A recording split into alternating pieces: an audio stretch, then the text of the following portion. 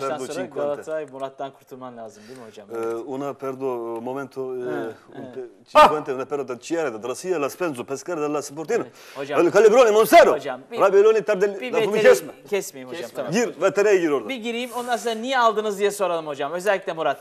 Eh, gir. Se- sevgili seyirciler diye. konu Chris e, Galatasaray'a geldi. Pek istenilen verimi sağlayamadı ama e, görünen o ki özellikle Chris ve de menajeri e, çok çok mutlular.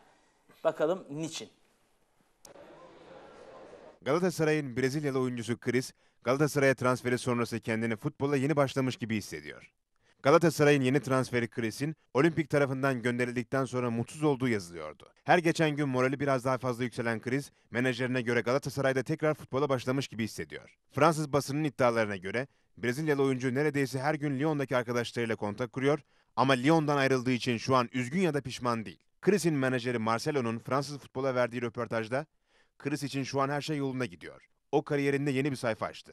Takım arkadaşları onun tecrübelerinden faydalanıyor. Galatasaray Teknik Direktörü Fatih Terim de Chris'in tecrübelerinden faydalanıyor ama Chris'i Şampiyonlar Ligi'nde aktif olarak kullanmadı. Chris Galatasaray'dan yıllık 1.4 milyon euro ve maç başına 12.500 euro alıyor. Bu rakam Chris için yeniden doğuş gibi oldu dedi.